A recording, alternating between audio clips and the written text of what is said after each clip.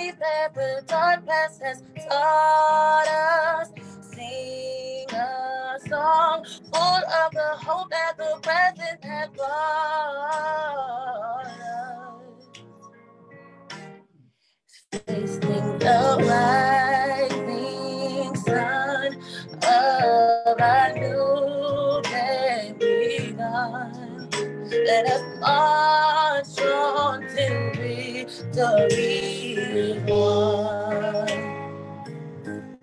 Stony the road we trod, bitter the chastening rod, felt in the day that all unborn had died.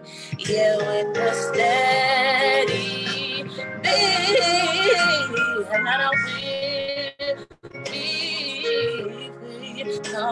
the place on which our fathers died.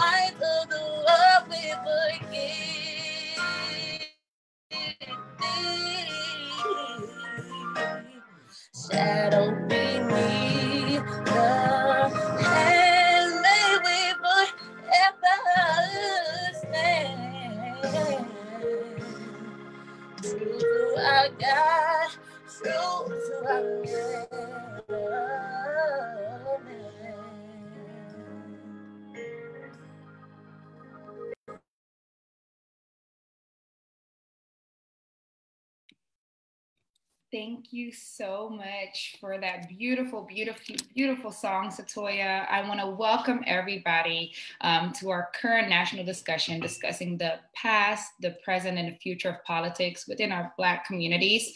I want to thank every single one of you guys for being here. I first off want to give all glory to God, um, all honor to God. Um, greet our Board of Bishops, the President of the Board of Bishops, our presiding prelate, uh, Bishop Crenshaw. I want to thank our missionary supervisor for all her initiatives. And I also want to thank the entire AME Zion Church for putting on this amazing initiative to involve and engage our communities in voting. We want to start off and we're going to hop right into one of our first topics that is going to discuss the history of our vote. Uh, we know that our community um, is underrepresented.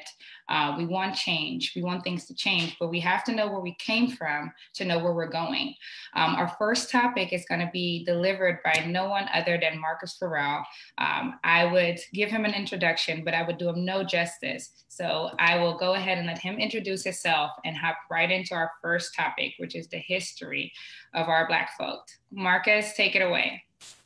Thank you, uh, thank you, Joy. I appreciate it. Appreciate everyone who uh, is joining us, who's watching us right now, and big shout out to Satoya for that amazing rendition of the Negro National Anthem. That's uh, every time I hear it, I get chills. Uh, my name is Marcus Ferrell. I am uh, the former African American Outreach National African American Outreach Director for Bernie Sanders in 2016. Uh, I was Stacey Abrams' deputy campaign manager down here in Atlanta, Georgia. Um, I've, I've, gotten the first help get the first black mayor of Jacksonville, Florida, elected. Um, and if you know anything about Jacksonville, Florida, you know that a black man is not necessarily the, a, a, person that should be elected. But uh, when we vote, we uh, we succeed. Uh, also, um, my most recent job was the um, uh, chief of staff of the New Georgia Project. We are we are the America's largest African American led voter registration organization, and during my tenure there, we, we registered over 465,000 people. And the biggest thing about that work is not just registering people, but making sure that their right to vote is still protected. So we did a lot of work around just making sure that once uh, someone was eligible to vote and registered to vote, that they could then uh, parlay that uh, their American uh, their American civic duty into being able to to have a vote, have their vote be counted. And uh, I hope in this discussion that we can actually get into that because not only registering to vote is important, but historically, as I'll go into very soon, uh, just being able to protect the vote, especially in uh, urban communities and southern communities and black communities. Uh, they, you know, America doesn't necessarily want us to vote, so I'll go. I'll get right into it. Uh, so in 1865 uh, we all should know this, but if you don't know, in 1865, the 13th Amendment was passed that officially ended the enslavement of African Americans and Black people in this country. Now we all know that in paper, that's in that's in theory because we still have a criminal justice system that does us wrong. So we really never left slavery, as our dear sister Ava DuVernay has um, has told us and has taught us. Um, but in 1865, that's when we were officially free. Uh, the 14th and 15th Amendments technically allowed us to vote, and those were passed in um, 1866 and 18 eh, through 1866, basically through 1870 is when um, is when African American men. You we need to make sure that we get this out. African American men were allowed to vote for the first time. Women weren't allowed to vote until 1920 during the suffrage movement. That means black women were double oppressed once again um, and so we need to keep that in context when it comes down to the amazing turnout that black women have today in today's voting elections. You guys are def- black women are definitely saving society when it comes down to being eligible and registered to vote and actually swinging elections in favor of policies that will affect African Americans. I want to point out that from 1865 basically to 1875, once uh, Reconstruction was ended, they basically gave us 13 15 to 17 years of being able to vote. Uh, and what happened during Reconstruction. Uh, once Reconstruction ended, Southern states across the nation with the highest population of African Americans uh, decided to start making statewide restrictive uh, very restrictive policies keeping us from being able to vote. And even when we did, were allowed the right to vote. They would do voter intimidation tactics. The Ku Klux Klan went out of their way to make sure that African Americans in the South and across the nation, uh, if you even fathom to say the word vote in those times, uh, you can get killed. So here's the thing registering to vote, not even voting, but registering to vote uh, in the early 1700s, all the way basically to the 1965 Voting Rights Act was passed even just extending yourself to register to vote was almost a death sentence. Uh, and here's some interesting facts, and here's some interesting numbers. Before the 1965 Voting Rights Act, only 20% of registered African Americans turned up and showed up to vote. That's how strong voter intimidation was. And when certain people say "Make America Great Again," those are the those are the places where they're actually trying to they're trying to take us back to that place where uh, they can make America great by making sure that we're intimidated to go do our American uh, civil duty and vote. So you, you have to remember in, in context that when people, it's not a cliche, when people say uh, people have died for your right to vote, not only did they die for your right to vote, they died for your right to get registered. Uh, and that's a very big, I want everyone on this call to understand who's watching this to understand that the process of even registering to vote. So when you see a young person, whatever color, whatever connotation, when you see a person say, Are you registered to vote? That person, if they had that same job in 1919, then they would be risking their lives right? So take these people serious who are out here trying to get registered to vote and if you if you can you know this is an action question then you need to if you're ready go register to vote and if you can try to actually get people register your vote uh, to vote yourself. I want to bring it back to more current times. Um in 26 in, in 2008 was the highest turnout of african americans in the history of american vote for uh, president barack obama. Uh, in that election, 66% of African Americans voted that were eligible to vote. 66%. Therefore, uh, there was a blowout and uh, the first black president of America got elected. So when we show up, we really do show out. Uh, consistently, when it comes down to the vote, black women across the nation vote at a percentage of somewhere in between 80 to 92% in statewide elections in comparison to black men. And this is a fallacy. I want everyone to understand this. It's a fallacy that people think that black men don't vote, but black men vote a lot.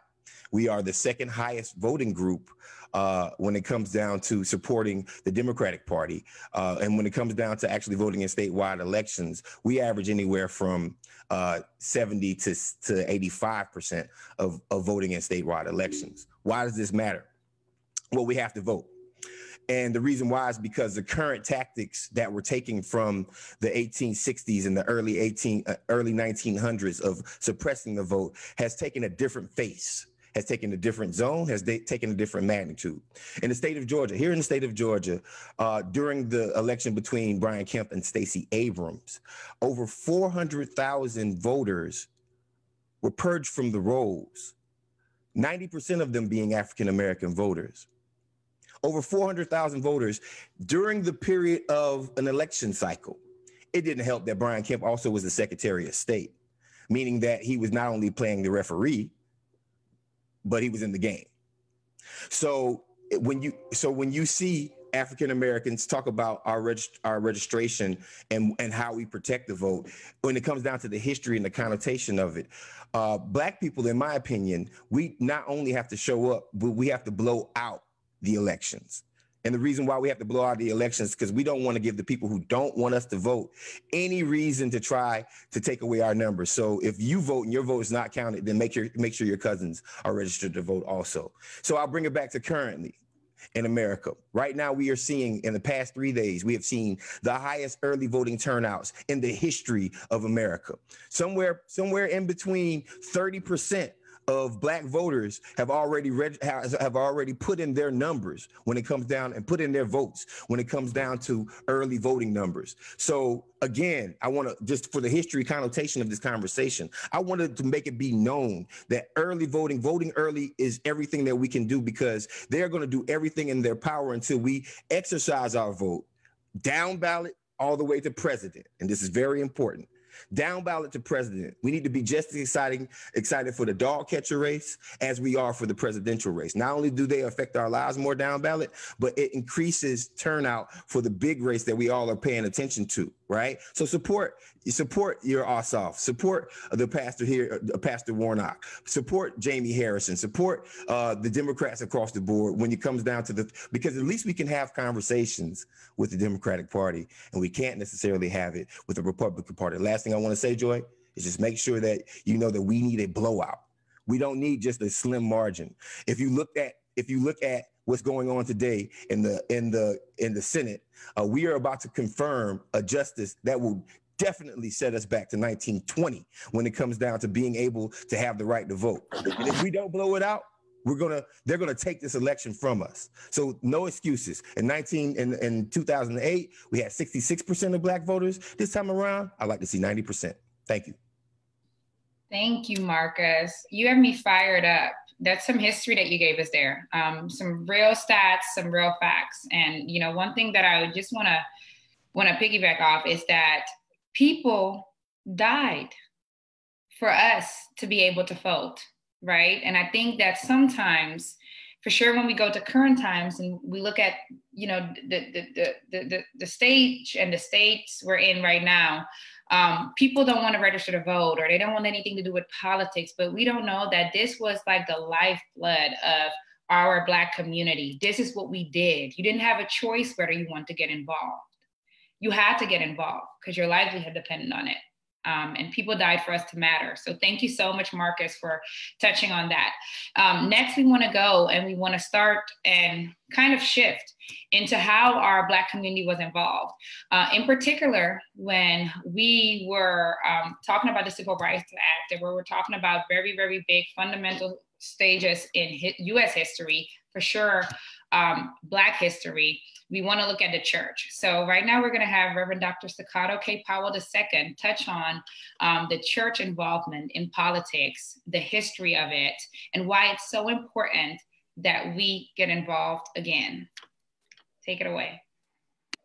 Amen. Let me first of all uh, greet you all in the matchless, marvelous, miraculous name of Jesus the Christ.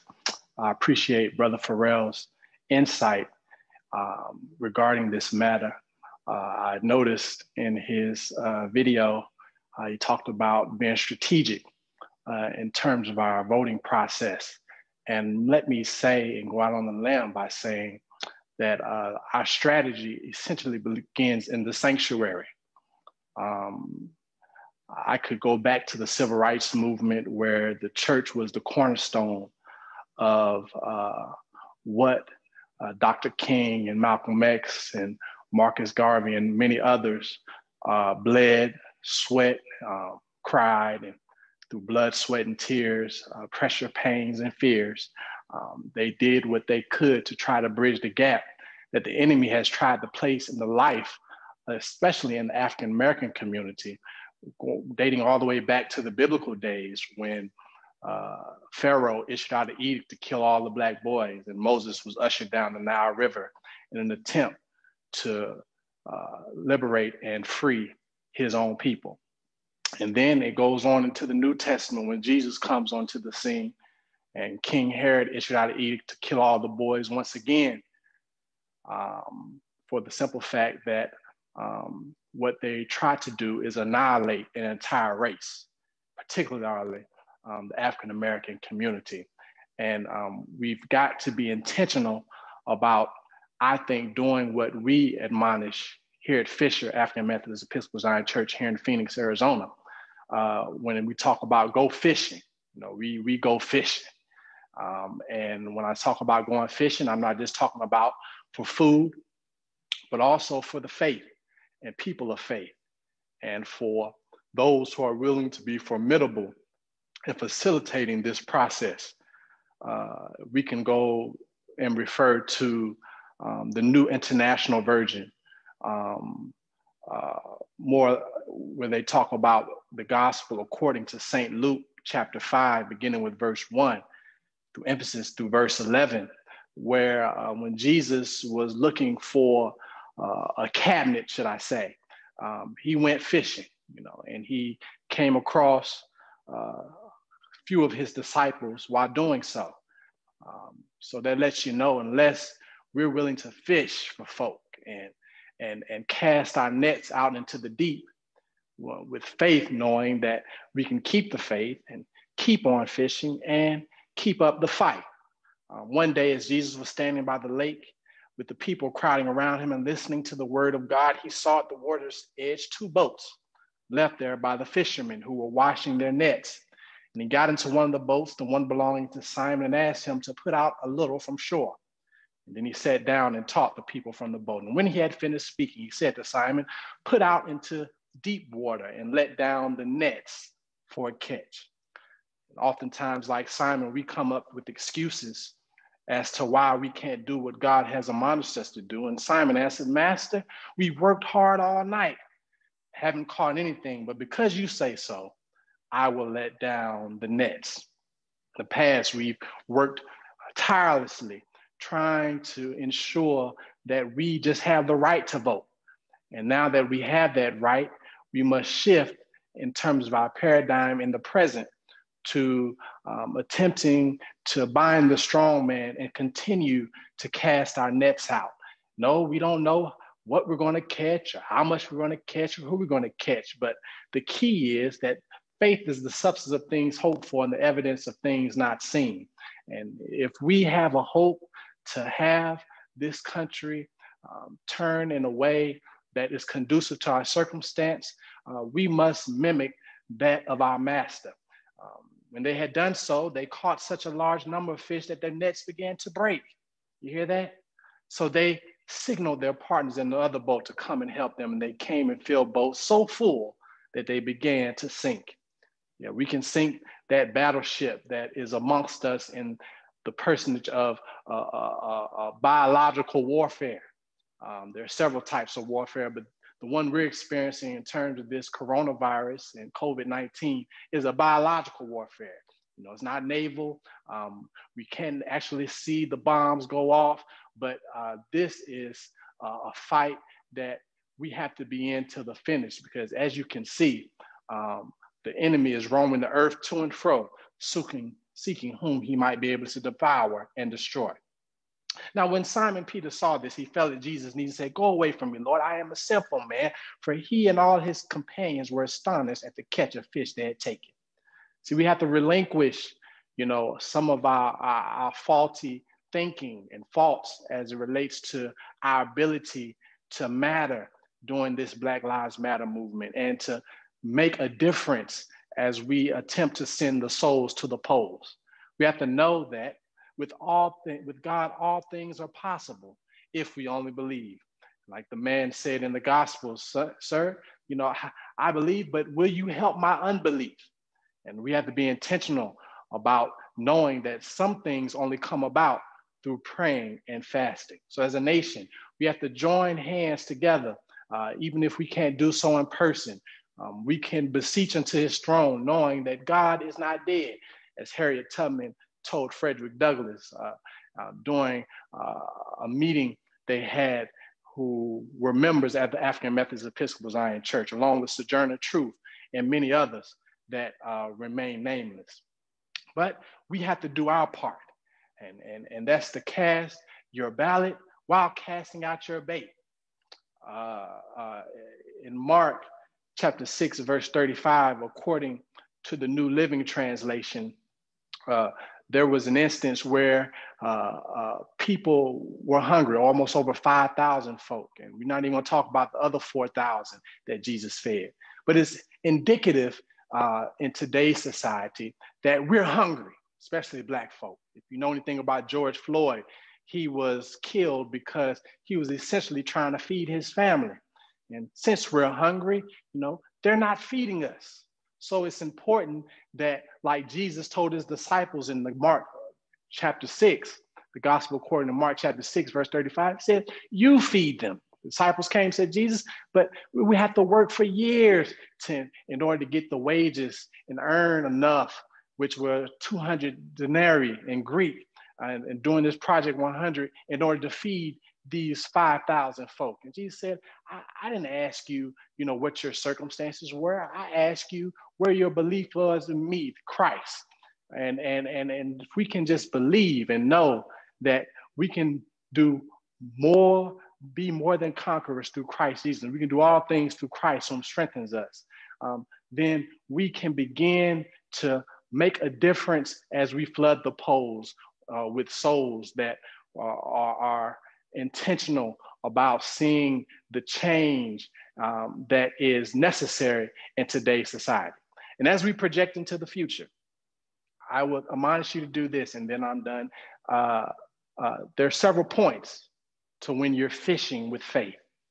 And while we're going fishing for voters and and those to flood the polls, like like one of my members said, it's not just about the president and, and the vice president who's a thoroughbred, should I say and uh, the person of Kamala Harris. Um, but it's all the way down to the Senate and the legislature and the judicial board and on down into the common citizen. Um, we have to be uh, uh, uh, tenacious almost because it seems as though someone is always trying to take our rights and our freedom.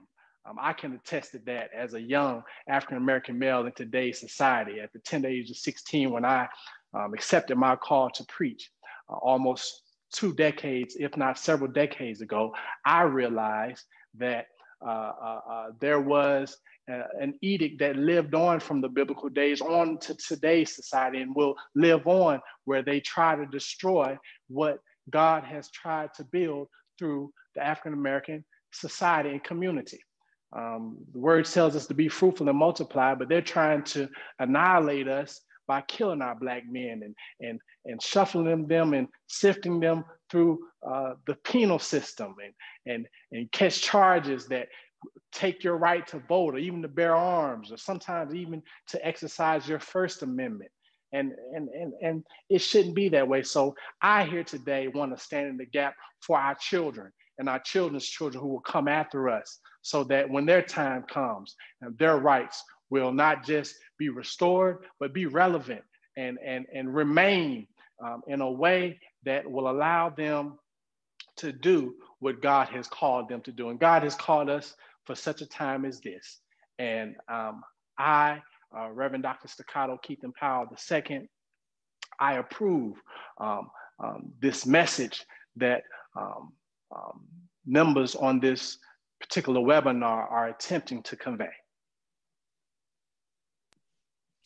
Thank you, Reverend Dr. Staccato K. Powell. So we do have a question because you gave us a lot of information and we appreciate it. Take it all the way back to the Bible because, you know, history is, you know, sometimes on repeat um, as as we see, right? We have the Black Lives Matter movement, but our parents and our parents' parents, they were protesting and marching too. So we see that this is a revolving thing. I did have a question that was sent in uh, by a youth minister, and he asked, you know, particularly as a minister, what is your job to support your community in politics? How do you support them? Great question. Uh, during the slavery days, shortly after the biblical ones, uh, there was something um, that was coined as being known as the invisible institution, meaning that there was a time where us Black people were not allowed to worship in spirit and in truth and in our own special way. So uh, slaves at that time created the invisible institution in a way to worship, but to do so without the, their masters or, or their counterparts or Caucasian counterparts, whoever, uh, for them not to know what they were doing because at that time it was illegal. It was it was it was almost punishable by death, as Marcus would say. Uh, but now uh, it is important as a church for us to be visible. No longer we have to subscribe to that subscription as it relates to the invisible institution, but we can be visible in the community. Um, I talked about how hungry we were. Well, as a church, you know, it is our job to feed the folk. We, we at Fisher, we have a food ministry, a food pantry where we feed on a daily basis. Um, people are looking to the church for answers. Church, like I said, during the civil rights movement, Dr. King and the the uh, the the conference um, that he led, um, along with Ralph Abernathy, um, they um, essentially uh, were the cornerstone. The church was the cornerstone for the civil rights movement, and as we should be the cornerstone for the Black Lives Matter movement. Um, those of you don't know, Dr. King was a Baptist preacher in his own right. Um, uh, Jesse Jackson, a frat brother of mine, uh, is a preacher in his own right and was very prevalent and um, very prominent during the civil rights movement. Well, we as youth ministers uh, have to take on that baton and not just take it on, but run with it.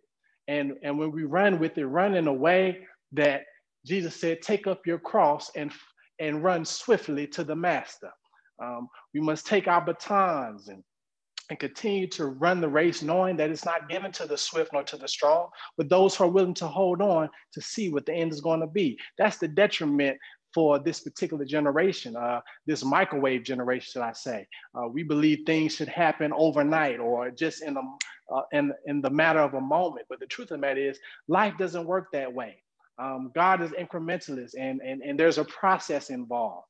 And it's important that we get engaged and not just be on the sidelines spectating, but actually in the game, participating, running touchdowns with the ball that our predecessors have given us. Thank you so much, Reverend Dr. Staccato K. Powell. A lot of information, a lot of nuggets. Um, I think that perfectly goes into a small and brief video that we will be showing, uh, which features, of course, um, the Reverend Dr. Martin Luther King Jr. as well. Um, after that, we will follow into some uh, voter preparation and some voter registration information for the states that can still register to vote.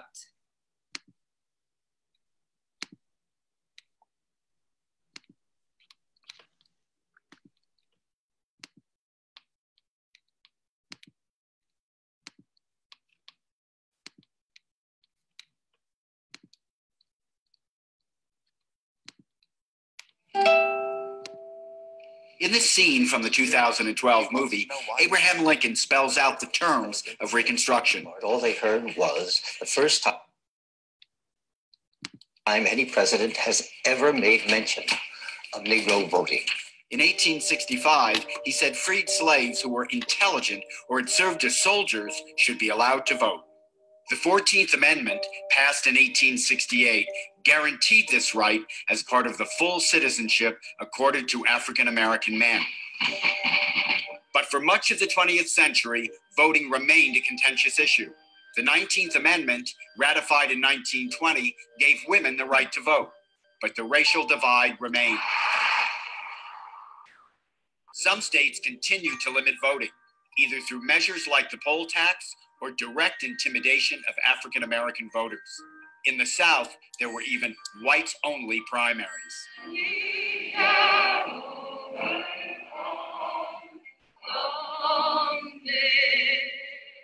This is Sam Tanenhaus of the New York Times. The first modern Civil Rights Act was signed by President Eisenhower in 1957.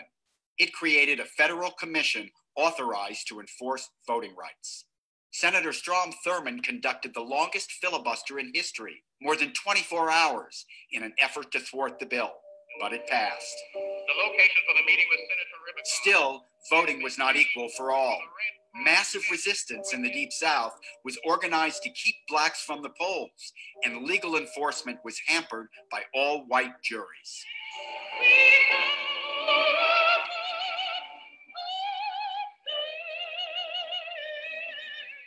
Voting rights became a central issue in the civil rights movement. I think this march will go down as one of the greatest.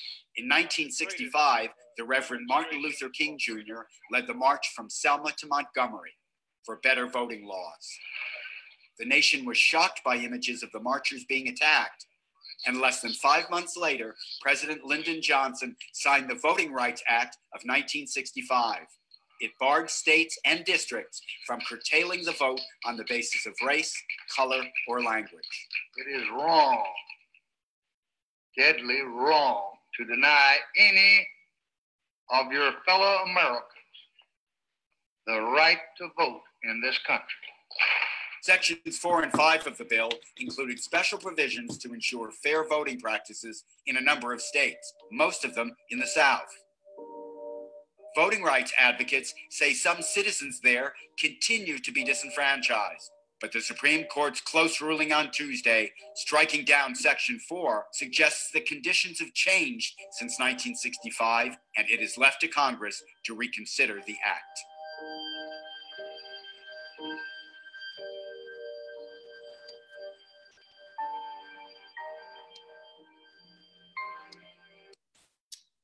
So right there, we just had a small video um, that was actually recorded in um, 2013, but a small video showing you just some of the trials and tribulations we had to go through um, as an underrepresented community and really as an urban and as we can say black community just to vote um, i think it's very important that we know the struggle that you know the people before us went through our ancestors went through to get there right? Um, with that being said it's more important than ever for us to get out there and go vote. There's a few states that are still registering voters. Arizona the great state that i live in being one of those. We're going to have um, deaconess allen touch a little bit on voters prep and voters education. Um, and before we do so, I just want to tell you guys about our partner, Engage Arizona, that has um, so gracefully gave us their site to register last minute voters. Um, I will show everyone um, a quick preview on how you go to their website, how you register to vote, how you get it done. It is so easy. And I just want all my young people, everyone that's tuned in, if you have a friend, if you have a family member that is not registered to vote, to bring them to this site, tell them it's time for them to sit down right now and get it done.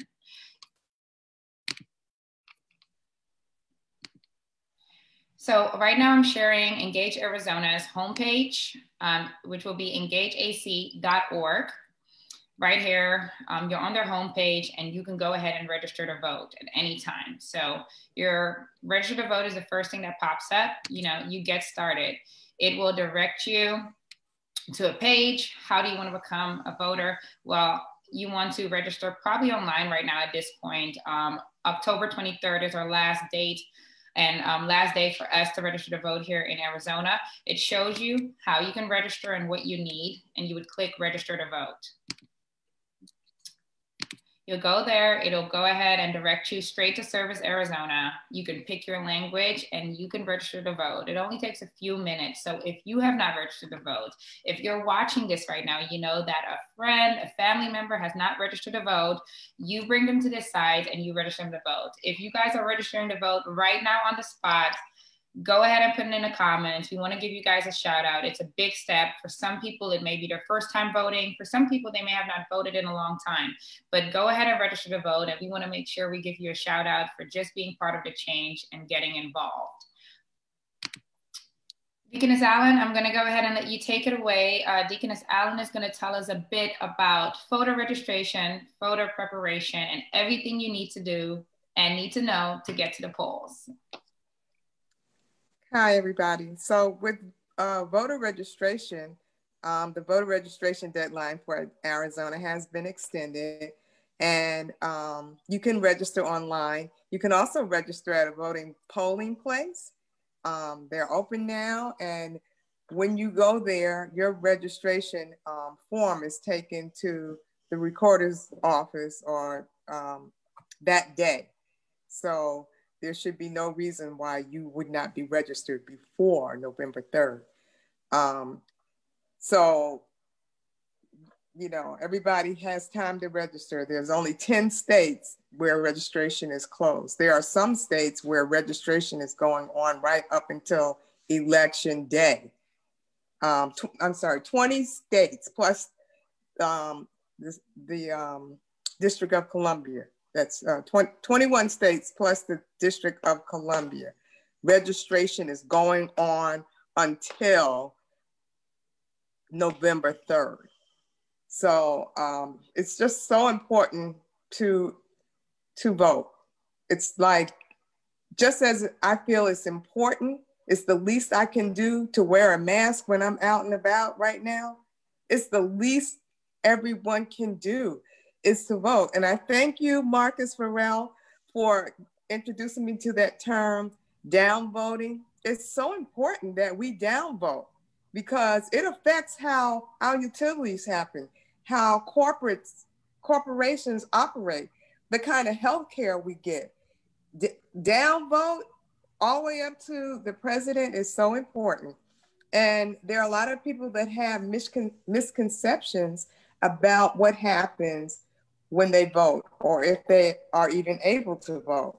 A lot of people who are convicted of a felony think that they can't vote.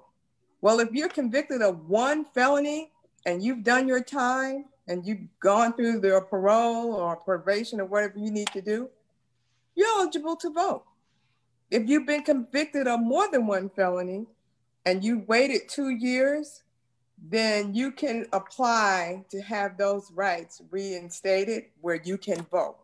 A lot of people who are disabled will feel they feel like they can't vote.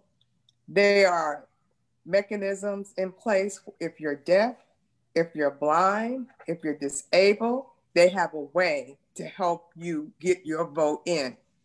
They even have curbside voting where two poll workers of two different parties for security will come to your car with a ballot to see that you get that you get your ballot in. So there's absolutely no reason why we can't vote.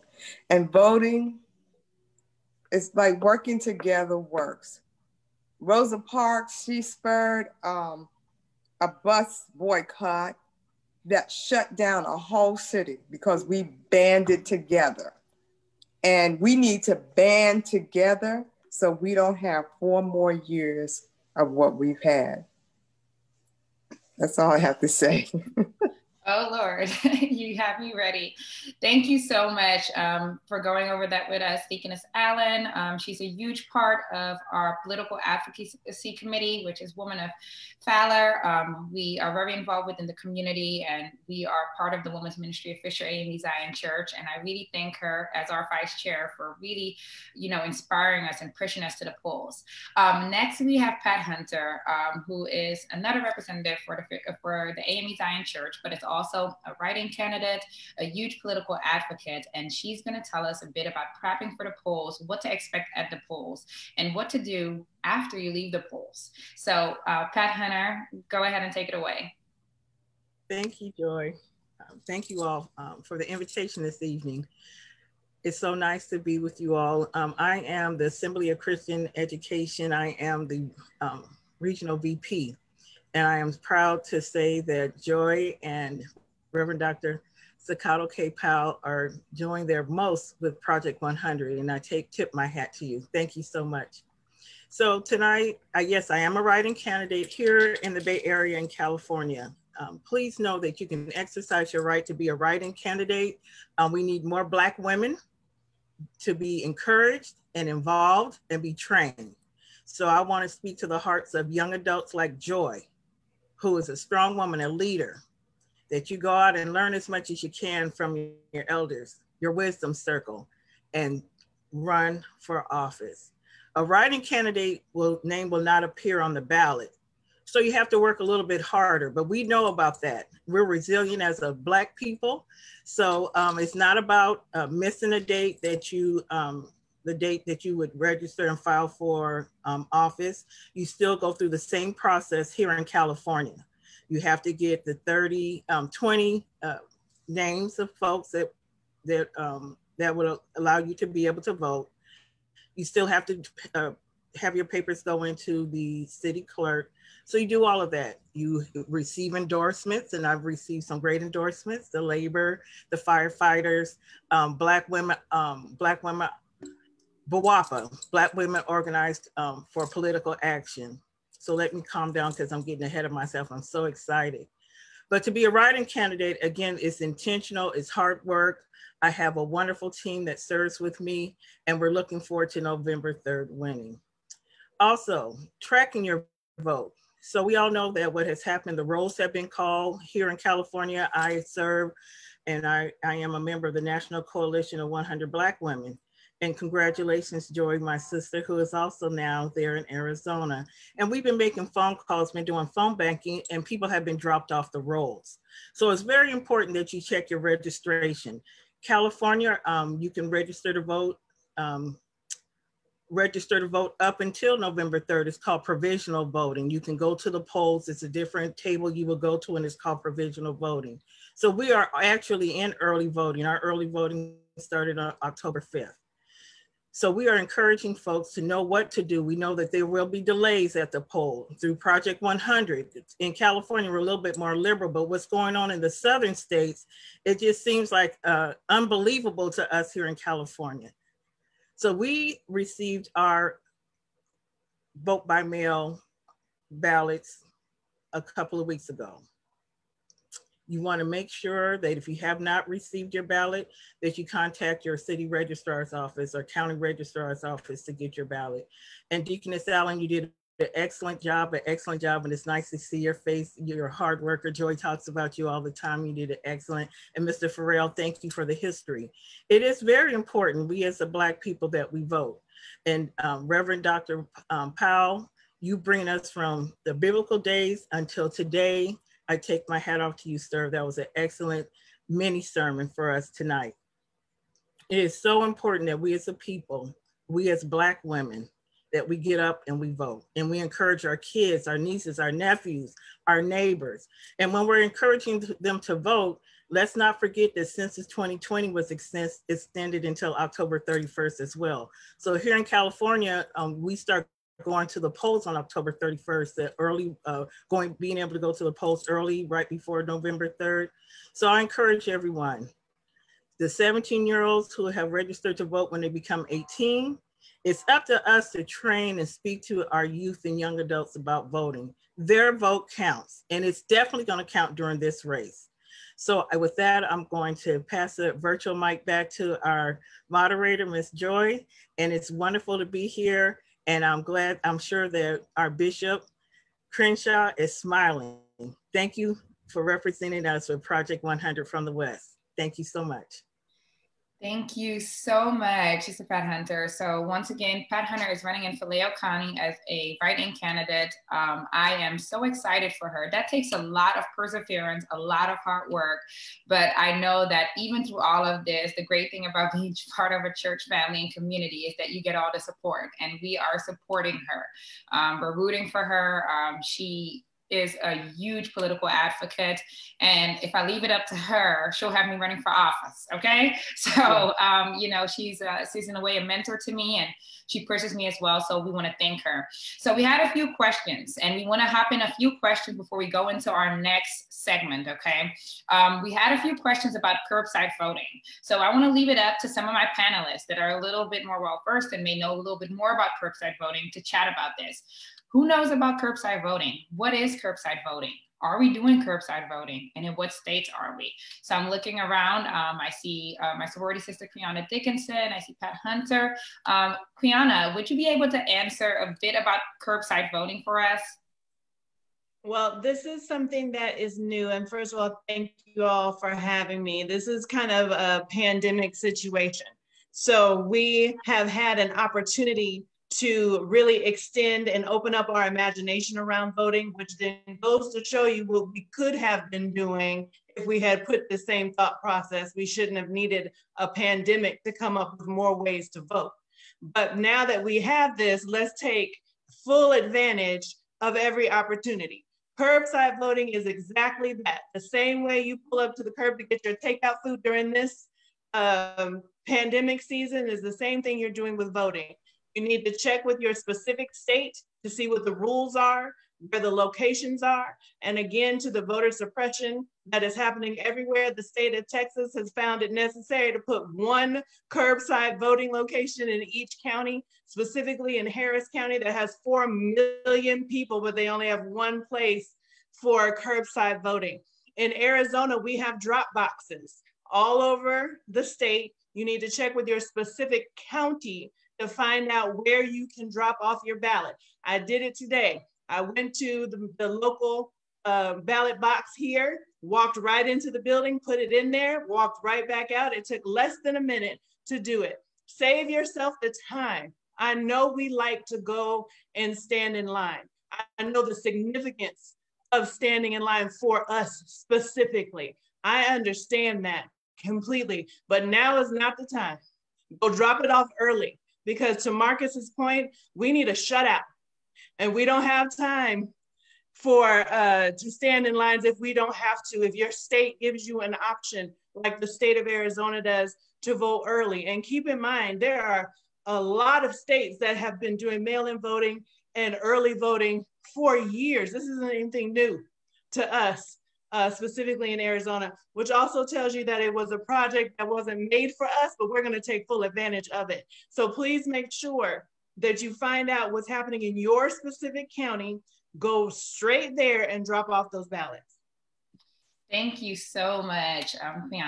Um, you will get, you guys will have a more formal introduction as she will be sharing a topic as well to her. But thank you so much for sharing that curbside voting.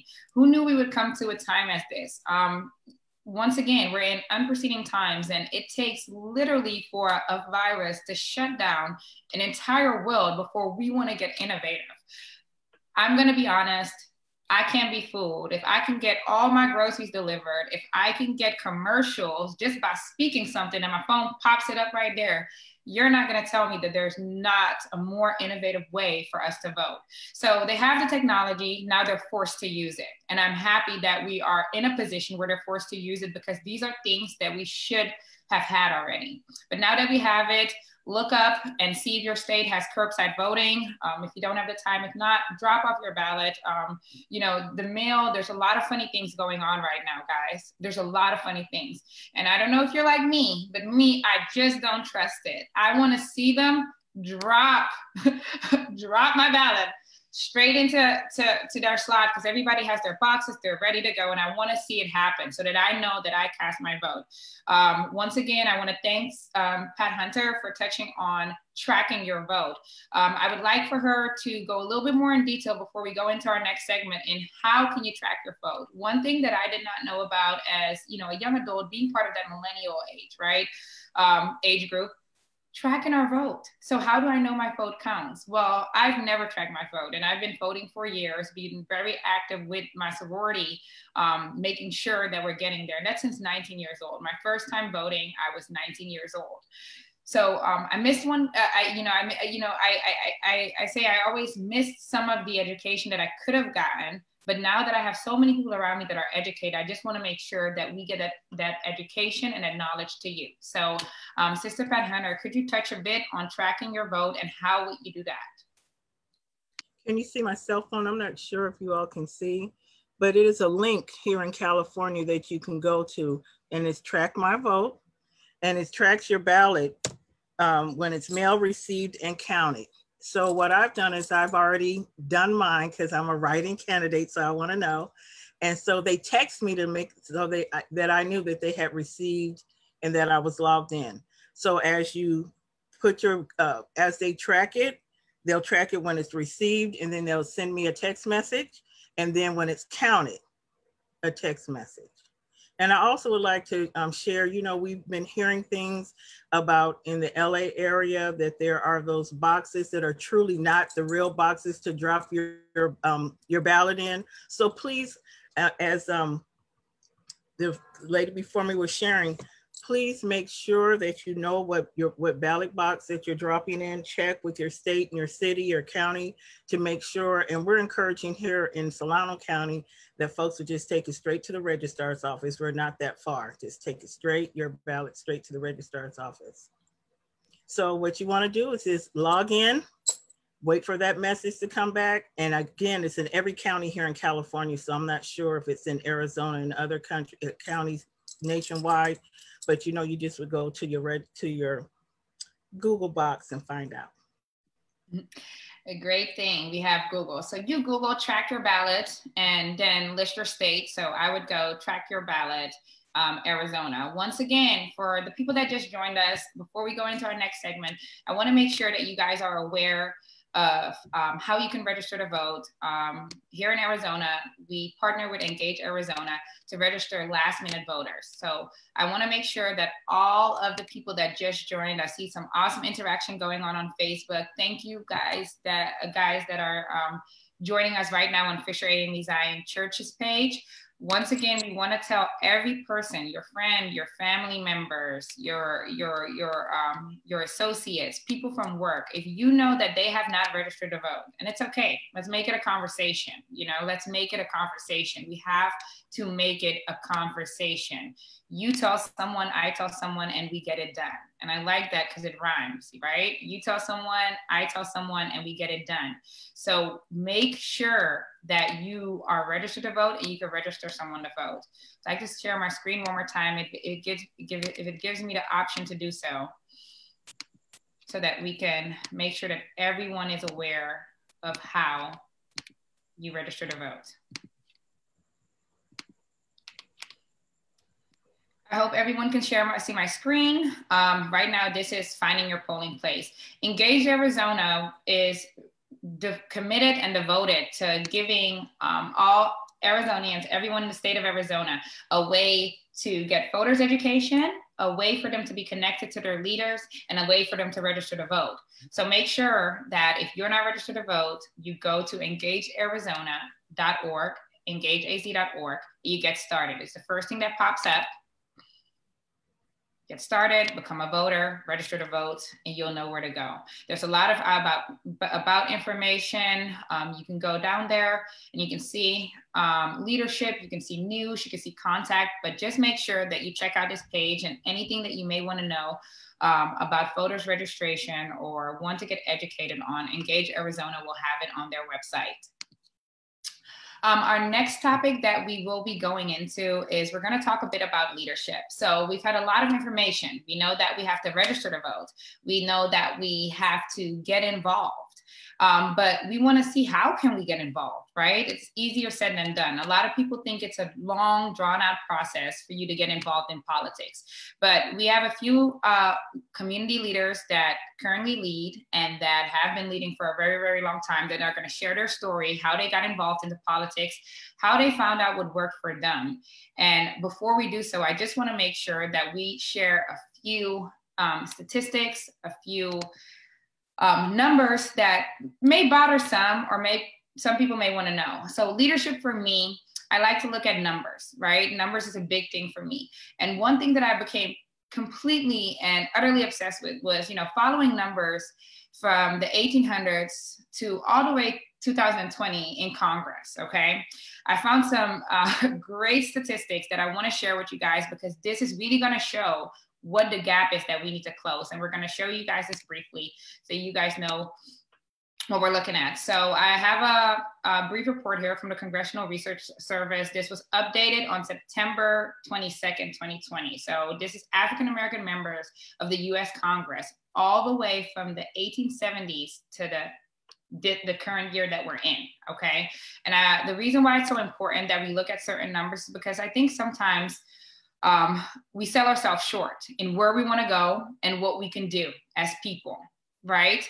Um, some people may ask and we, we want to make sure that this is a this is an inspiring call and that this educates people that may that that may be of that not be of a darker hue that may be from um, a different ethnicity a different background that you guys are educated on what a struggle it has been this is not to bash but you know people may ask why is there not a list of Caucasian members in Congress, or why is this not? Well, it is because it has been a struggle. As you can see, it's been a struggle for us to vote. And these are numbers that we need to know as people so that we know what we can do to get into leadership, to get into positions that we need so that we can have representation.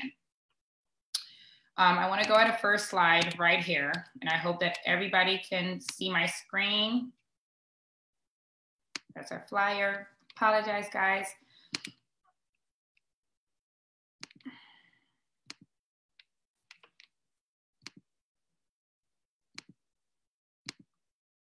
I'm sorry, guys. We're going through a bunch of different slides, but one is not showing. So give me one moment.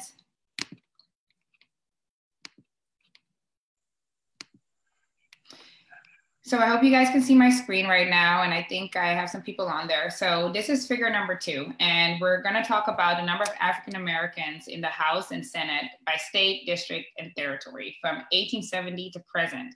So um, they're not huge huge numbers but they're huge numbers and when we look at where we came from right? Um, the only thing that i really want to touch on is the states where you see no numbers okay?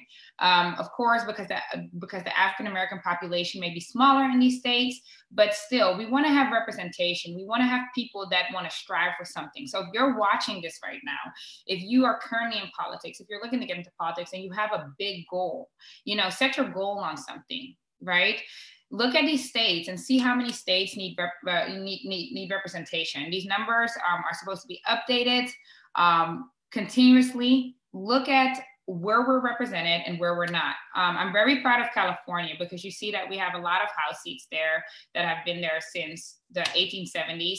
But you know, we're looking at South Dakota, you know, we're looking at Kansas City, we're looking at so many different states that just don't have representation. If your state is up in the numbers, this is a great thing.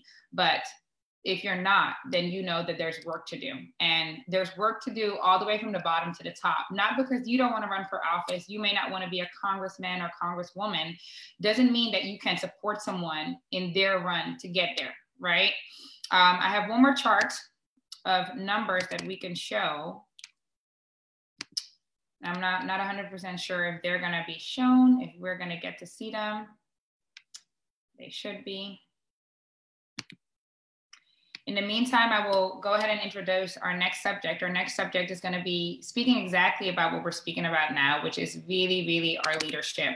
Um, I found a slide that we that we need to take a look at. So let me share it with you guys so that you guys know exactly what I'm talking about when I'm talking about representation within our communities.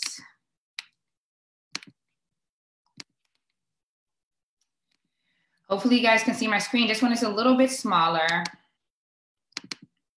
don't know if I can uh, make it a little bit bigger, but there we go. So this figure one, and this is the number of African Americans um, by Congress, also since 1870, right? Um, the cool thing is that we definitely see uh, a big jump, you know, in House seats, which that's an amazing thing.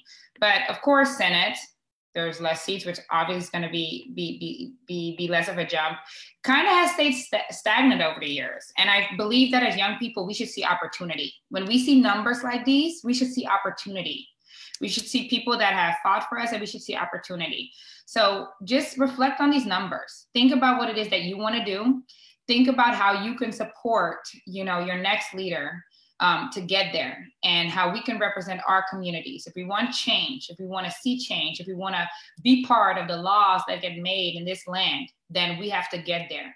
And you may not have aspirations to get there, but someone in your community does. And when they do, you have to support them. So next, we're moving into um, a brief, um, open panel discussion, and we're gonna hear from some amazing leaders about how they got involved, how they got into politics, how they enjoyed their role, and what they would advise you to do if you're looking to get into politics or just be influential within your community and helping that next leader get elected, get to the position that they want to get so that you can see the change that you want to see. So um, we're moving on. I believe the first person that will be speaking right now will be um, Mayor Andrew, Andre Rainey. Um, I would give him a formal introduction, but I think he can do his introduction himself and he would do a way better job. So uh, Mayor, please take it away. All right, thank you so much. So I do want to first say thank you to everyone. Um, uh, one of the greatest things about being in this position is being open to listen and learn. And you've all uh, mentioned a lot of things today that I that I wasn't aware of and that I was aware of and happy to hear reiterated. So um, I thank you all for joining this panel and welcome me, welcoming me to be a part of it. Um, my name is Andre Rainey. I am um, the youngest uh, African American mayor in the city of Peekskill in Westchester, New York, and I'm the only I'm only the second African American mayor in the city of Peekskill. And um, um, going back to some of the things that you guys mentioned earlier, you know, um, outside of my office wall, I'm in my office right now, as a matter of fact, but outside of my office wall, all of the mayors of the city um, are on the wall.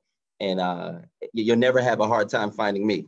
and I like to make sure that people are fully aware of that because I, live my life to inspire. I think part of my purpose of, of, of, my life is to try to find ways to inspire others to do um, what I do, but even better. And um, I tell people all the time, if there was a mayor that was like me when I was a child, I'd be running against 45 right now. And I really believe that in my heart because it's just the leadership of being involved, especially for our youth. So uh, one of the things I want to touch on is uh, something that um, uh, Reverend Dr. Uh, Powell mentioned earlier about, about the history. I think one of the one of the biggest challenges I think of this generation especially is uh, getting your mind state and understanding the history that our people went through to get to where we are today. And you know, we talk about we talk about slavery, we talk about civil rights movements. Like people in those in, in those eras, they fought and they lost their lives for us to be where we are today. You know, there was a time when you couldn't play the sports that you love to play on a, on a, on a professional team. There was a time when you couldn't walk in a certain restaurant if you were a certain color. And in, in the city of Peekskill in the 1960s, we had the Paul Robeson riots where uh, Paul Robeson was a famous um, actor and singer, and he came to the city of Peekskill and he said that he wasn't going to perform in the theater if Black people couldn't um, attend his uh, performance. And so they cut, they, they shut the whole, the entire show down. And on his way out of the city, uh, his buses were hit with rocks and bricks and turned over and fired. And it was, it was a really, really true act of hate right here in my hometown city. And then, you know, less than 60 years later, you have an African mayor, African American mayor in that same city on the same grounds where that happened. So um, remembering where we came from is one of the key. I tell one of the keys that I tell people who follow me uh, whenever I walk into a panel discussion with young adults and college students and high school students and younger, I always ask them the first question is how many of you want to be an elected official when you grow up, a mayor or a legislator or, or, or a county executive or senator or governor or president? And you'll get about two out of the 30 kids in there to say me. And I say, good. So you two, I don't really know about the job, and I'm with everybody else because I didn't want to do this either. It wasn't something that I grew up wanting to do. However, being involved in my community was something that I always did. I always raised funds for kids, for youth programs, after school programs, educational programs, uh, school drives, book bag drives, school supplies, and things of that nature. And um, the thing that motivated me the most was a challenge. And I love to share this story because it's probably the best part of my career. Uh, when I first decided that I was going to run for council, um, before I actually made the decision, I had asked people around my community what they thought about me running for council. I've been being asked for about six or seven years. And I said no every year. And the one year I decided, yes, I'd do it when I said I would do it, my predecessor and a friend of his had came to the place where I was working at at the time. I was working at the youth center in my city. And um, they pretty much told me that they heard that I was planning on running for mayor, I mean, I'm for council, and they wanted to know if I would run on his ticket uh, with the Republicans. And I, I basically let them know that if I got in office, when I got in office, I'd be able to work with you if you won, but I'm not running with you. I'm running with the Democrats in my city, the people who had asked me to run. And the lady that was with him said right then and there on the spot, well, you have to understand, uh, uh, Andre, this is bigger than you. If you run against him, then I have to ruin you. And I, I, I my response to her was, I wasn't even going to do it, and I'm definitely going against him. And um, I reached out to the people that reached out to me, and I said, listen, I want to run. I need you to teach me everything I need to know about running a campaign because this is all new to me. Um, being involved and being in elected position is a little bit different.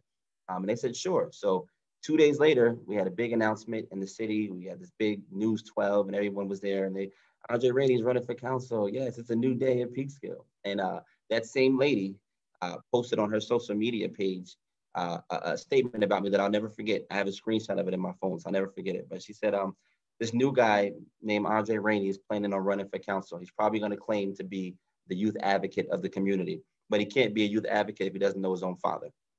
And it was like, okay, it took a little bit out of me, but uh, one thing I will say, and I'm glad that you have the people that you have on this panel, is uh, the the challenges that I went through through the campaign brought me closer to God than ever.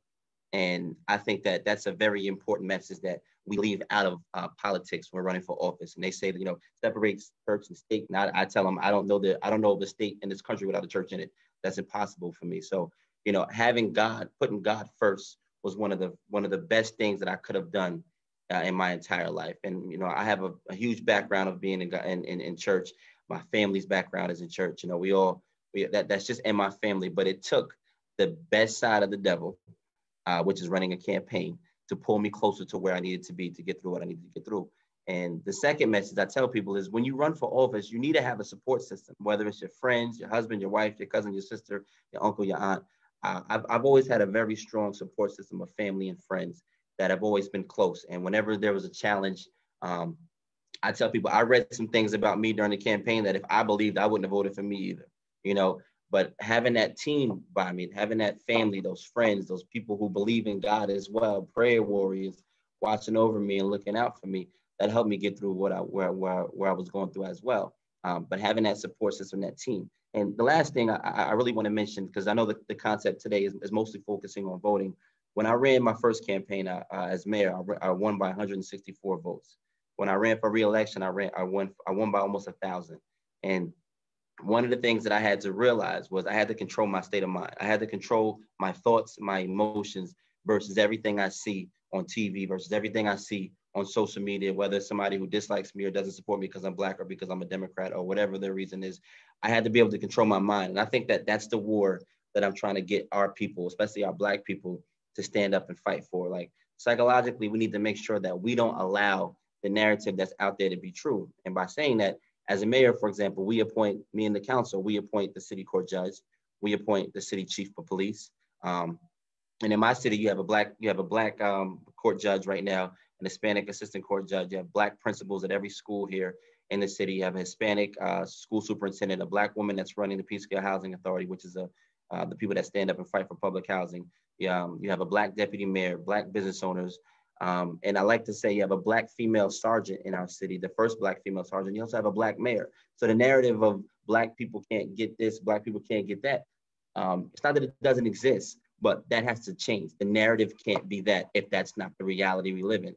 Though the consistent message of black people are behind, black people can't get there. When you just showed that chart, the great thing about that chart to me was yes, we're not fully in the house, but we've escalated. You know, we've increased the amount of numbers. And that's what I want people to look at when we talk about the narrative of where we are as a Black community, as an African American community in our businesses and our elected official positions and our leadership. And I, I want to end by closing by saying that many of the people who decide that they feel like they don't need to vote. Um, when I ran for reelection, I told everybody who I'm close with or my colleagues that I went to high school with, if you're not going to vote, the least you can do is get involved. Um, find somebody that you can that you'll support, or importantly, step up yourself. You know, the the one thing that I want to push as my agenda for our community is accountability. I want us to, if we don't like everything that we see, if we don't like the way our pastors preaching, if we don't like the way our teachers teaching, if we don't like the way our mayor's governing, we don't have to necessarily just sit back and rely on a Facebook post or just point the fingers because Martin Luther King and them, as, as, as, as the Reverend said, they fought for us to be able to say, you know what, I don't want to vote for that man who doesn't know what I've been through. I want to be in that position to be to understand what, what I've been through. And in the early 60s and the 50s and the 40s, when we were voting, it was a little different. You had to vote for people who probably didn't understand what you were going through, probably didn't understand your struggle, who probably didn't know what it was like to grow up as a black man or woman in the state, in the state of uh, the country of the USA. Now you could put yourself in position to be that person that they're voting for.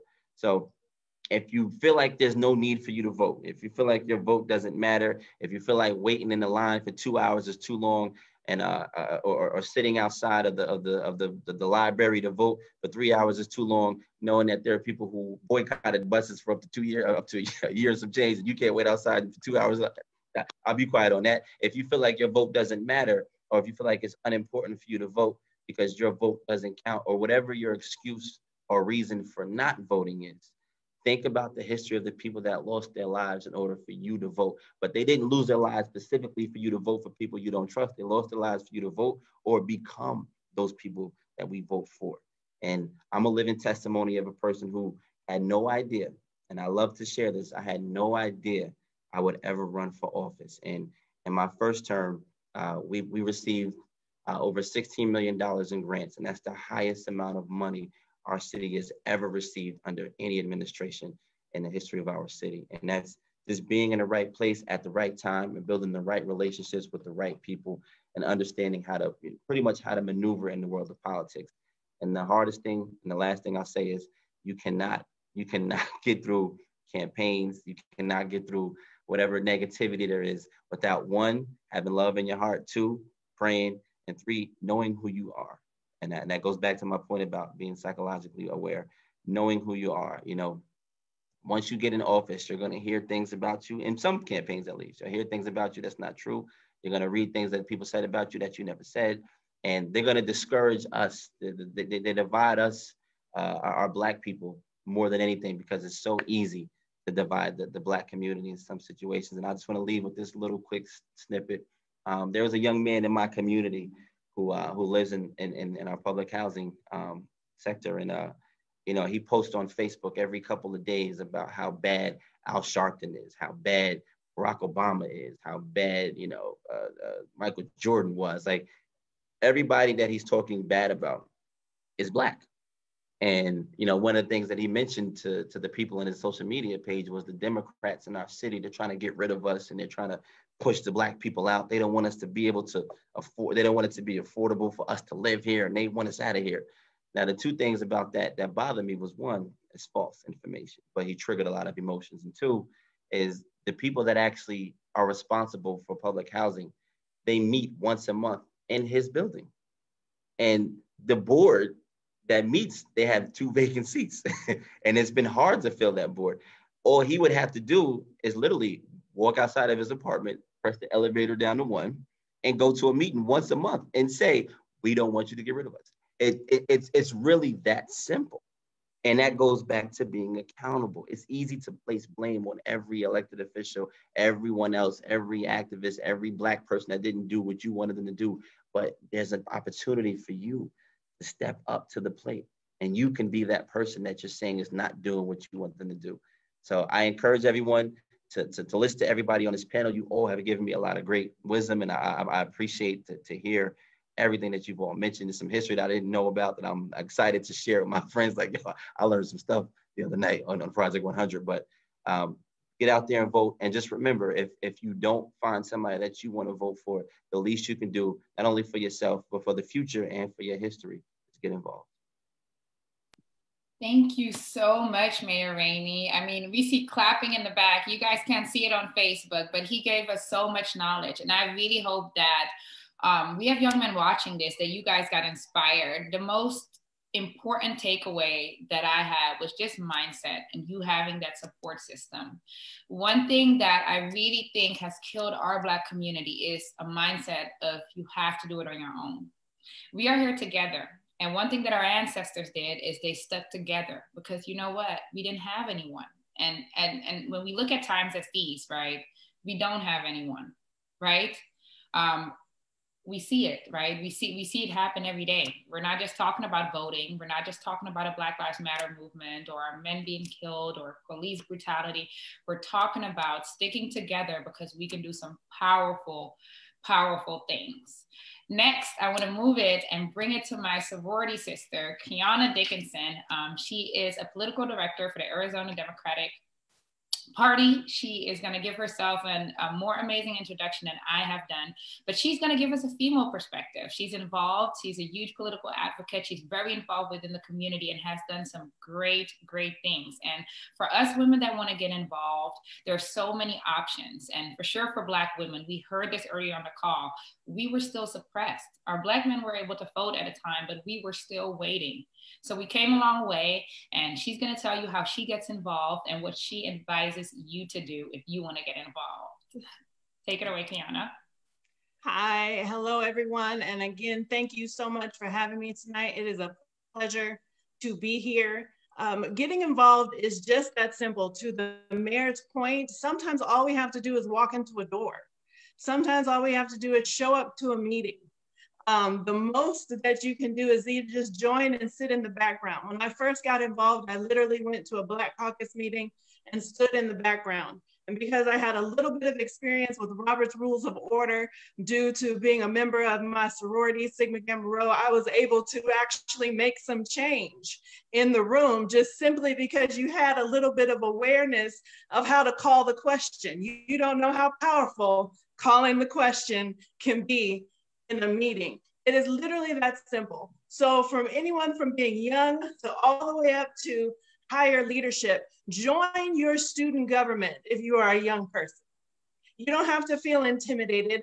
They might call on you, but just join, sit in the room.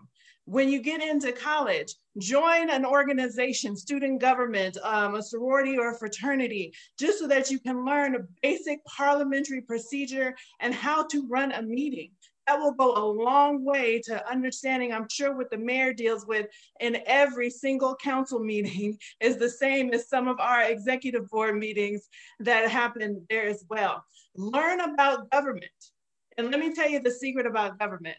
It is not something to be fearful of. It is really just taking a look at your kitchen table. When you sit at your kitchen table, if yours looks anything like mine, you have a stack of mail somewhere and you go through it every couple of weeks and you pull out your bills. So if you have an electric bill and you don't like how much that electric bill is, figure out who's governing it because your vote determined how much your bill was. If you have a water bill that is too high and you don't like that, figure out who governs water and figure out how you can get on that board so that you can determine how to lower those water bills. If you have a heating bill that costs too much, do that. If your trash collection costs too much, if there is a, a pothole on your street, figure out who you can vote for to fill the pothole on your street. If you don't like how much your groceries, the taxes cost on your groceries, figure out who is governing those taxes. I'm not asking you to go read law books. I'm asking you to look at your bills. Preach, sister, preach. I need only thing that I need you to do is look at that. And if you don't like those things, if those bills are too high, if your neighbors are being evicted because their housing is too expensive, if there's dogs running up and down your street and nobody is coming after them, if the trash is too loud when it comes at six o'clock in the morning, figure out who is in charge of that and figure out who to vote for to make that stop. And if you don't like that person, if you don't like what they're doing, if they don't respond to you because they work for you, then you need to challenge them on the ballot box, period. And that's how all great leadership happens from one very aggravated citizen who has had enough of going to someone who is not listening to them about something as what we would consider as common as trash pickup or a water bill. And those things right there can change something for your entire city. We spend a lot of time, and I spend a lot of time worrying about the top of the ticket and Biden and Harris. But I guarantee you, neither Biden nor Harris is going to fix that pothole on the corner of your street. So we need to find the person that is going to do that, the person that's going to invest in our children's education. There are always seats open on our school boards. Why can't we, as any parent or even an auntie of a kid that's in there, go and be on that school board? That will be the first step in creating the next set of elected officials is getting on the school board. I encourage people, specifically parents, to start their political careers on school boards. You see immense change and immediate change when you sit on a school board and you are impacting the lives of hundreds, if not thousands, of students immediately. Not when a bill passed and in the next session, immediately. And that teaches you how to run for office. Sometimes on school boards, at least here in Arizona, we have so many spaces open that you can literally almost just sign your name and walk onto a school board which is sometimes how we get terrible people on school boards. But for, for the good time, for the good ones, it is how we get great people on those school boards. And let me tell you a little bit how to get involved in campaigns. People think campaigns are complicated, that they are glamorous things. As Marcus will tell you, they are not glamorous at all. But this is what we need you to do as a practitioner of campaigns.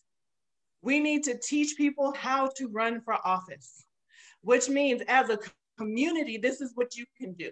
If you know someone that is retired from business, is an entrepreneur, is a mother of three kids, somebody has organized, somebody that has put people together, someone that is a leader that can speak and with some passion, recruit them and support them to run for office. Now, how do you support them in their run? I'm going to say the word that nobody likes to hear money. You have to donate to campaigns and candidates. This is not a free endeavor. As much as we would like it to be, it is not so. The signs that we are all seeing, those things cost money and they're not cheap. The water that you have to buy for volunteers that help you is not cheap. The videos that you see, the pamphlets on your door, all of those things cost money and they're a necessity to making sure that your candidate wins. You also need to volunteer. And again, I say sometimes our time is more valuable than money because if I had 10 good volunteers as opposed to one person with $20, I'll take the 10 good volunteers any day because they can hit an exponential amount of doors getting that information out and talking to voters. But this is what we do. And I'm gonna have just a little moment of honesty with my people because we're family right now. Is sometimes we give people our verbal support, but we don't give people our physical support. It is going to take more than just us saying, I support you, Sister Hunter, as a write-in candidate. It is going to take for somebody to get up on a Saturday morning at six o'clock in the morning with a stack of lit pieces and door hangers to actually go put them on the doors. That is what it's going to take. So we cannot just sit back and wait for other people to do this work. We're all going to have to get involved to do this work. Now, we like to do the fun stuff. We love to have events. We love to go to the parties. We love to be in the room and have access to and say that we know Mayor Rainey and I can call him anytime I want and pick up the phone and access is great. It is wonderful, but that will not help him win his next election. What will help him win his next election is a group of volunteers and dedicated people that are going to put their time, talent, and treasure supporting him in everything he does. So I'm a very practical person. And I believe in giving people exactly what they need to know to do something. So when you get off this call, you know what you need to do tomorrow. What you need to do tomorrow is pick your favorite candidate, whether that is Biden and Harris at the top, whether that is your local school board member at the top of the bottom, because I like to say they're not the bottom, they're the top of the bottom. You find them and you ask them, What can I do for you? And in this time of COVID, it is probably going to be phone banking, or it is probably going to put, be putting lit pieces on people's houses. Or it might just be using your own cell phone and calling 20 people and reminding them to vote. So tomorrow when you wake up after you feel thoroughly inspired by all of these amazing people on this call, tomorrow I'm going to ask you, I'm going to beg you for every candidate that is in your area that you get up and put your feet to the ground, you get your fingers off of Facebook and Twitter, and you get them to call and text as many people as possible to make sure that these people get to the polls, that these people are voting, and that you're doing whatever last minute work needs to happen to support whatever candidate. This is going to take all of us. And I know we say the least that we can do is vote, I'm going to challenge that. The least we can do is vote, get our mom and them to vote, our cousins and them to vote, our sororities and fraternity brothers to vote, get our church people to vote. That's the least you can do right now. So I beg you for every candidate that is on every ballot in every state, move your feet. And that's how we are going to win this election in a landslide. Woo! Thank you so much. You know, I have to give it up for her. That's my soror. I have to. So, um, you know, she's a lovely woman of Sigma Gamma Rho Sorority Incorporated, and we know about work. So, just to kind of summarize what I've gotten, it is going to take work. I want to just piggyback off of um, Brianna Dickinson, her, you know, her comment. You know, in our community, yeah, we love to support people, but um, when that financial support comes, we don't do it, right? And and I know that. For me, it was a learning process. So me, I picked a candidate, and I remember I picked a candidate that was not even in, in, in my district, but I wanted to support them, right? And that was monetary. You know, it doesn't matter. It can be $25, $50, whatever it is. Same thing. We're talking about the things we have to do to support our candidates, phone banking, doing all these different things, right? Um, I know that I found a reason to. Not only was I passionate, but I said, how about I do my workout and at 6 a.m. I meet you to drop off lit for you? That's fine because now I got my three miles in and I got to support a candidate. It's not glamorous. And I know not everybody ran track in college like me and just loves to get up and run and walk five miles, but it's it's a motivation. So if you can hit two birds in one in, in, in, in just in one in one slide in one stone and you can get it done just do it do your workout my young people get involved right we have no problem walking to different places and i'm not going to tell people about where they want to walk to but you know walk with purpose find a purpose find a candidate you're interested in supporting and you get involved. I do have a question for uh, Kiana Dickinson that had came in. Um, they asked me, how do you become a political director and how do you find out how you can locally get involved other than just picking a random board? With maybe tell them a bit about, you know, your background and how you um, got involved um, in your field. Well, I'll tell you something about politics is there's a lot of people that get political science degrees and a lot of them don't end up in politics. That is not that is not the way. Um, my degree was in communication and education, and I was an adjunct professor of both of those things for many years. Politics found me, and I have a, a passion for it simply because I am a mother of three, and my determination is if I cannot protect my children past the age of 18, I'm going to make sure the people that are in office to protect my children are going to do exactly what I need them to do. So that's why I made sure that I was involved. But how um, you just kind of work yourself up through the ranks. So I started out doing a lot of little things. You know, I started in politics as a more seasoned individual. Let me tell you that. I did come out of college doing this, but I did all the things to learn. You know, you have to walk the walk. You have to literally, and when I say that, I mean literally walk. You have to walk and knock on the doors. You have to carry boxes. You know, uh, we have very fancy titles, but everybody does everything. We sweep floors, we carry purses, we write speeches, we, um, you know, drive candidates around. This is, again, I tell you, it's not glamorous work, but it's work with a passion. Um, you just have to do the work and you have to be very smart. You have to get in the room with very smart people. And I always tell people to listen more than you talk because you hear a lot more and you get a lot more education when you are willing to hear what people are truly saying and build relationships with people. Politics is about relationship. I know it seems like it's about everything else, but it's really about relationship. So be a trustworthy individual, let people know that they can depend on you, show up when it's time to show up, show out when it's time to show out, and really put your best foot forward every opportunity that you get. Being a political director might not be what you want to do. You might want to be, your gifting might be in communication, it might be in speech writing, it might be digital, which right now is huge. And so, anyone out there that's in digital, please look to politics because we need all the digital comms people that we can get. It might be in field organizing, which I think is one of the most important things um, in a campaign. Um, make sure that you understand politics, there's, there's actual science to it. It is not just making stuff up. Right? We, don't just sit in a room and pick places to go. Um, as Marcus can tell you, there's a science to how you do this, where you go, how much time and money and effort you spend in a certain place. And you must be able to learn the science. They won't necessarily teach you that in a political science degree. That literally takes sitting um, at the feet of someone that has done this before and letting them train you how to do it.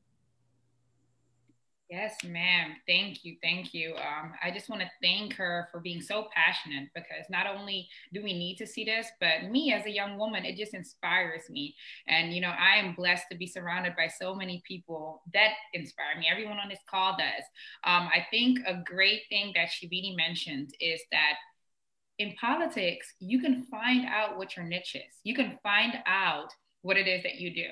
So I can take myself for an example before we move on to our next speaker. Um, I always had a great way of relationship building. Don't know what it was, but I had a way. Um, some of these speakers I've known for almost 10 years and and and you know just now we're we're hopping on our first event or we're doing something. So if we're, if it's relationship building is it if it's having um, a large influence right?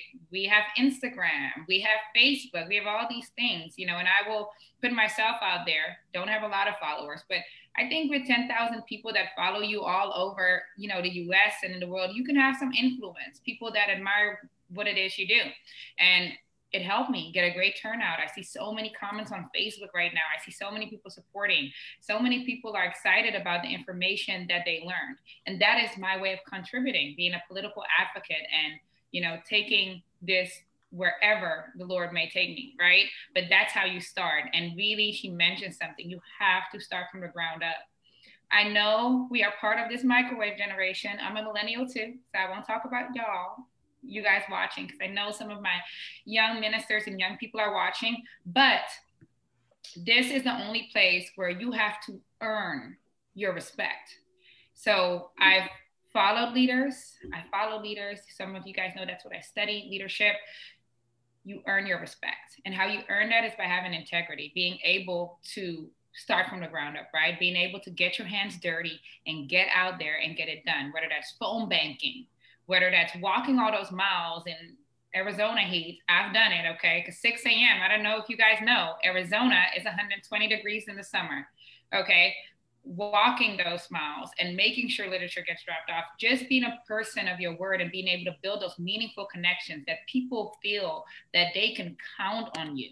It doesn't matter what it is, they can count on you. Because when people can count on you, you can count on them. And I think I see that time and time again, the relationships that I'm building as a young um, you know, multicultural African American woman that I'm building connections and these last last a lifetime, a lifetime. And the people that I've met, been people of their word, but people that are passionate about our community. So what is better than being with like-minded individuals around you and helping push that change?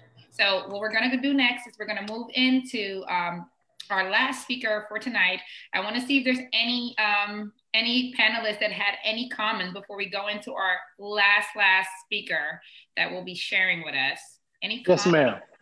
Yes, ma'am. I I I, I hear the word relationship uh, being repeated, and I think it's imperative that those who are under the sound of my voice know that uh, there is a specific relationships that reign supreme over all relationships.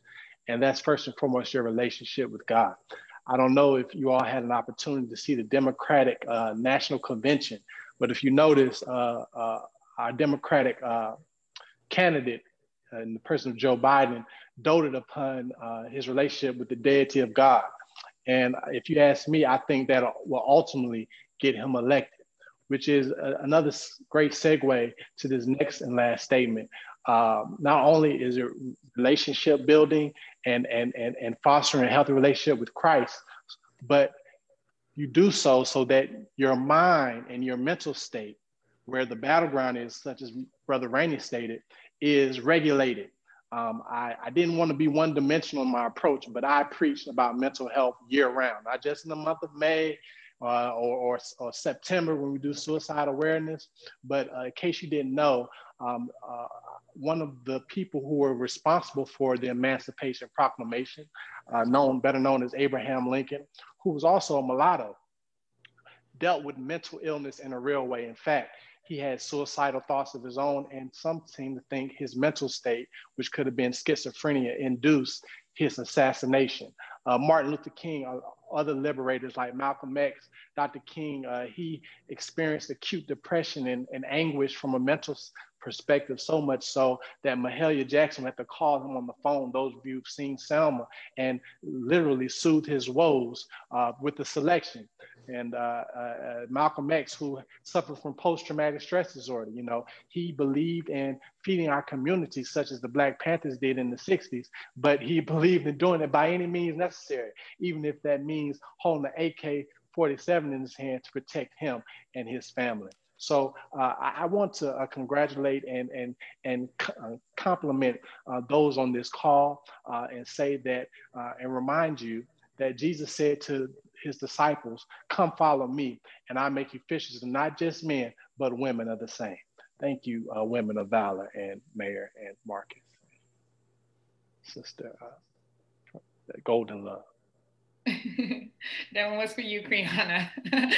awesome. Thank you so much, Reverend Dr. Staccato K. I think that is the truth. You know, um, I've, I've seen a lot, and when watching the National Democratic Convention, I, I, I definitely did see um, the question that was asked. You know, I want to give a big shout out to the AME Church. We're the AM, we're all part of the Black Methodist body, but you know, particularly the AME Church that you know just really came um, to Biden's rescue when he was going through a very, very challenging time. And, you know, he mentioned that, gave them a huge shout out. So just the relationship with God is the most important relationship that um, I think it is to have. That doesn't mean it's the only one, but I think it's the most important one to keep yourself grounded. As uh, Mayor Rainey stated, there will be a lot of attacks coming from everywhere.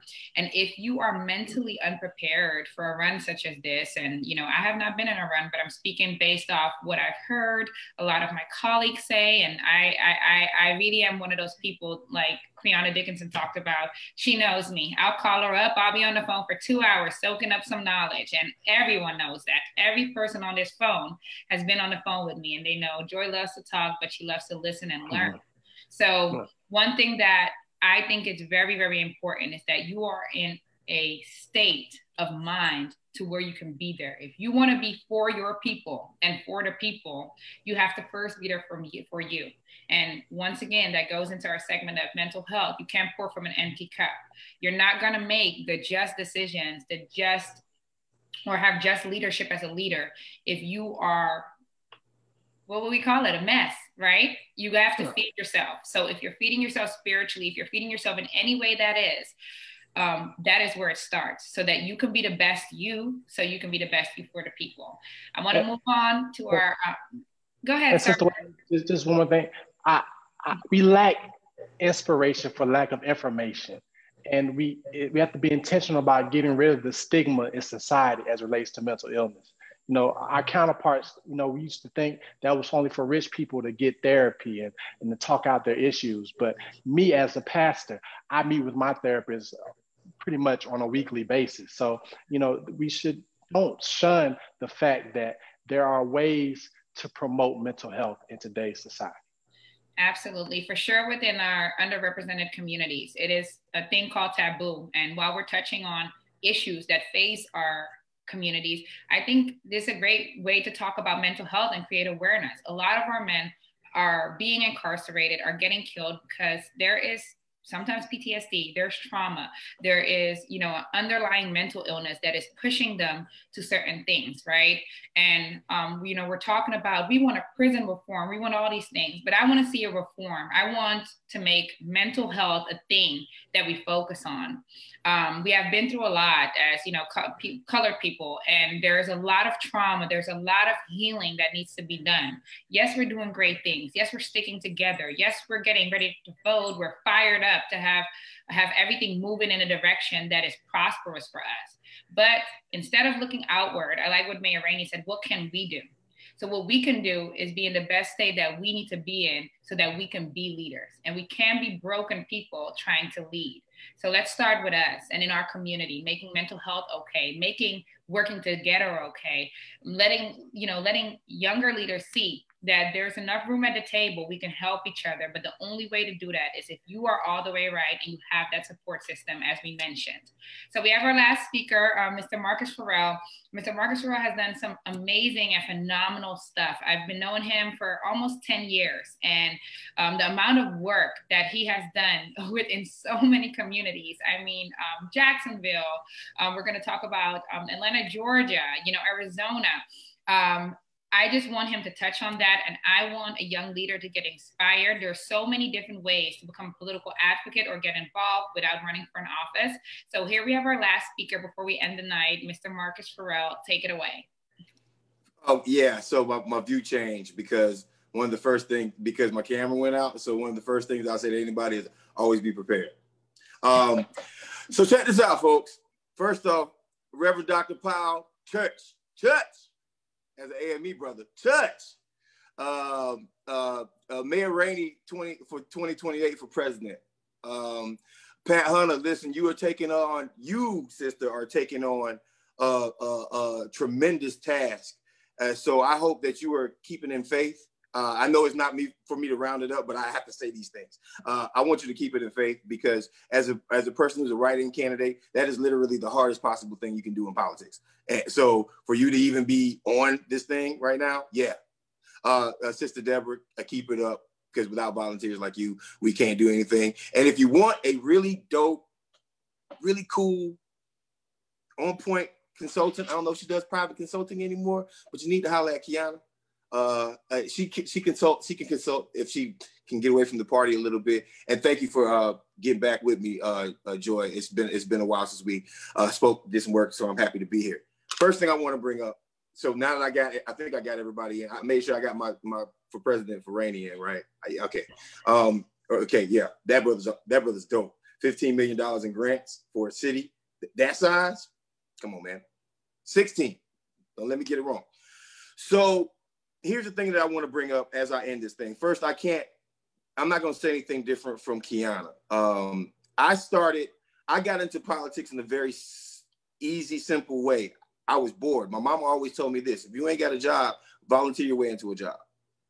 Right? Put in applications, but if you if you got enough money to volunteer for something and prove that you were worth something, and that's exactly what I did. I, I volunteered my way onto uh, Alvin Brown's campaign, uh, and and and 2011. I, I managed campaigns before, but my major campaign was one where I just kind of walked on as a as a person off the bench, and I went from getting paid eight dollars an hour as a canvasser to proving my worth, showing up every day, doing extra shifts, knocking on doors, talking about policy uh, that the mayor was planning on bringing to the city of Jacksonville, and we knocked on every single black door in Jacksonville three times.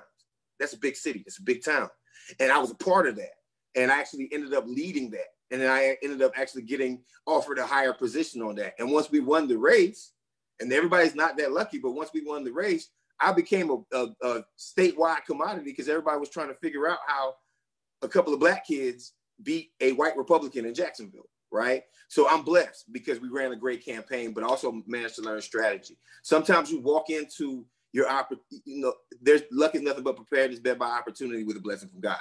Uh, there is there is nothing that i did that is special except have a work ethic that is uh, on a different scale right? Um, and then continuing it right?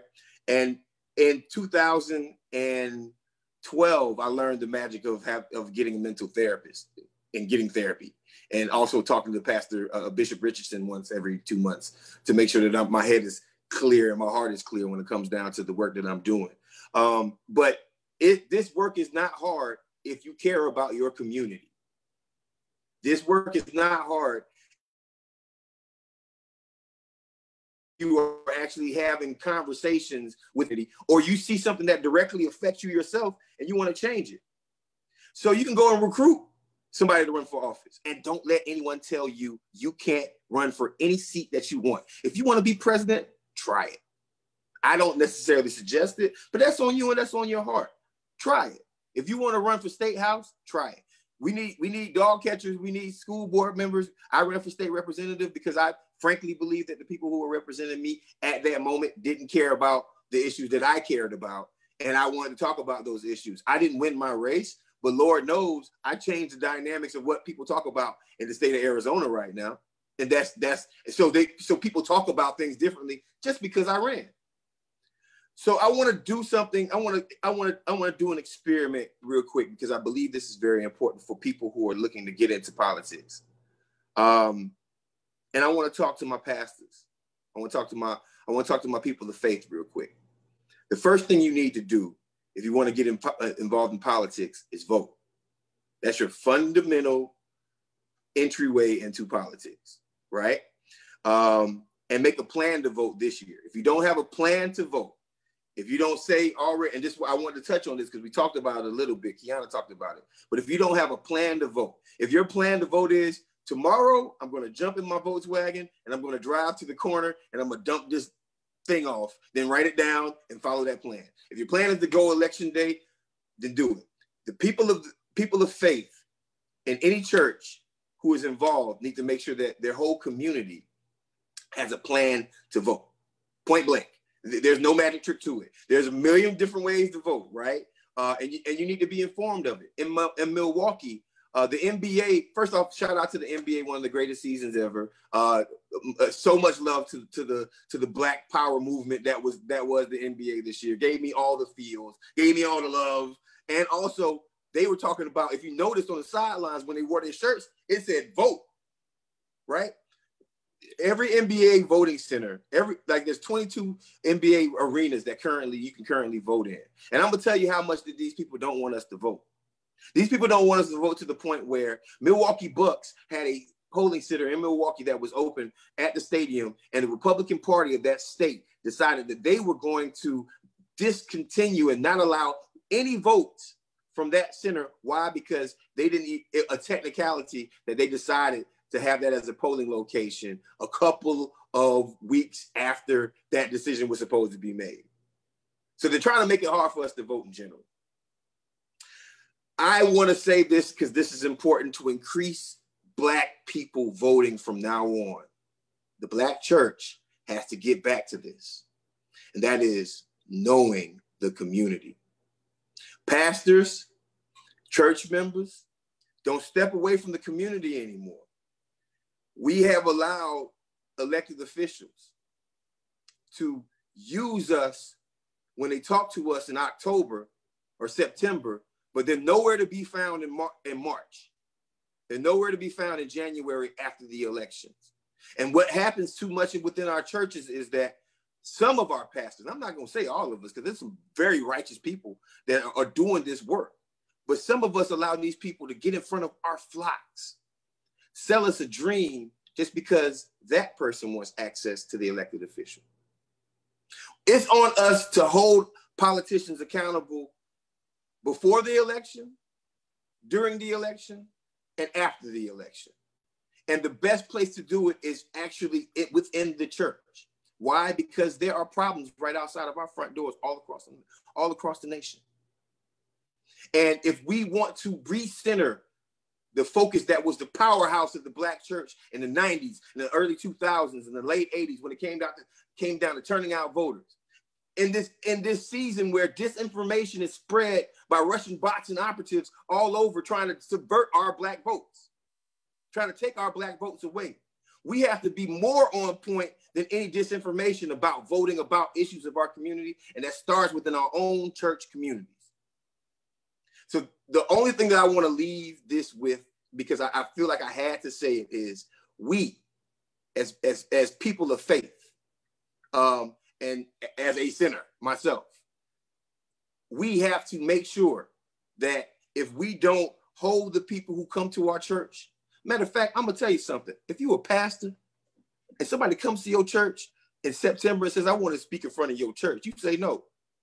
Why? You know why? Because your church was open from March to September. That guy was running from March to September and he decides that he wants to get engaged with your church community, some of the most poorest people, some of the most in need people, and you decide to create your talking points a week before the election. We don't do transactional politics like that, folks. We don't allow politicians to be transactional. We want real relationships within our community that's actually going to create change for our membership, for our flocks, and for our communities. If you know that your church is the only building left after it got gentrified, after the neighborhood got gentrified. Then what is that pastor talk? What is that elected official talking about to you right now? I'm, I'm just trying to keep it real here, folks, because I believe that this is the way that we get the black church back to being. It's always it's already an amazing place. yeah, it's already an amazing place. So Make sure your, your flock has a, a plan to vote, right? But the most important thing we can do is make sure that that person who is asking us for our vote actually has a plan to help out our communities so we can get back to believing politicians again. I'll leave it on that. Wow, wow, what a word. So, guys, let's get off of mute and let's all just give this entire panel on ourselves a hand clap because that was Amen. Amen. It was great. So, guys, we have finally got to the end of our discussion. I learned so much as you know a young woman. I hope that you guys did too. I'm watching the comments going crazy on our church in uh, Facebook page, so I know um, this one is for Kiana. Somebody said I got a two hundred dollar water bill. Can they do something about that? yes, they can. so she did. I want to make sure that got um, answers for, for First Lady Tucker. She wants to know if they can do something. And run for office. a lot of us That's it. A lot of us did not know, and she brought it to you. And one thing about my source, they're gonna keep it real. She done ran it down. All the time. If you guys know, now you know. You didn't know, now you do know.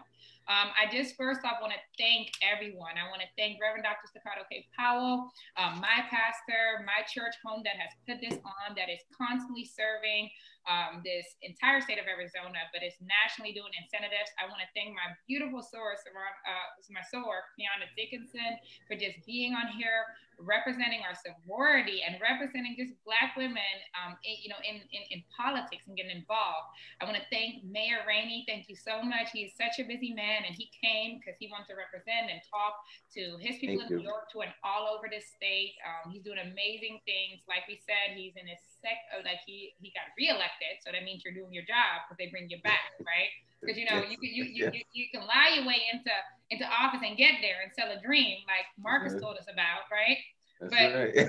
once you tell that dream, you won't be back. They got you out. They're like, oh no, you That's out right. You right. out of here. And that's how Mhm. some of us are feeling right now, right? We want to thank Marcus for all the history that he has given us. Yes. I've been knowing Marcus for almost 10 years, and I know that when I met him the first day, he was campaigning, trying to pull me into that campaign. He said, This is what we're doing. And guess what? He did a, he did a phenomenal job in Jacksonville, well, in Florida, in Georgia, and in Arizona, uh, where you know where he's doing amazing things. Um, I want to thank um, Deaconess Allen for being here. She is such a huge political advo- uh, advocate for our Women of Valor uh, Political Advocacy Committee. She's an amazing vice chair, brings so much knowledge, and you know keeps me in check as a young woman. Um, I want to thank um, Sister Pat Hunter. She's doing amazing things, not only within the AME Zion Church locally. She's a write-in candidate for Vallejo, in, in Vallejo County. This takes grit. And I want you guys to put your money where your mouth is, like Brianna Dickinson said. Now, you guys see she's a write-in candidate. I know some of you guys that are watching are right there in her county with her. I know we've seen all the messages. We support him. How are we going to stand behind our sister in Christ? Are we going? We're going to we're going to dig deep because we want this change. So we're going to dig deep. We're Sister, Sister Wait, Sister Waitman, we gotta give her a chance to give us her website. We gotta get her. We gotta Yes, find out how to yes. donate. Let's Yeah. do this. Pat, what's your website? So my website is www, of course, writeinpathunter.com. Yes. How easy is that? Right in pathunter.com. Yes, we will be Thank you. sharing it on the uh, Fisher AME Zion um, Church Facebook page, um, so you can find more information about Pat.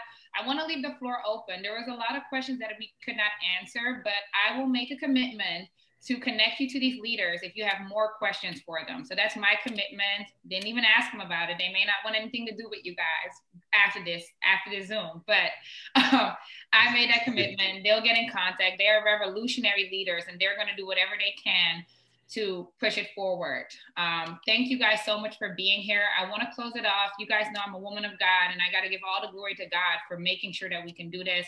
So I'm going to close it out with a small prayer, making sure that we are good and we are ready for battle. Um, politics doesn't stop November 3rd, guys. I know this is amazing. We're right here, but let me tell you something.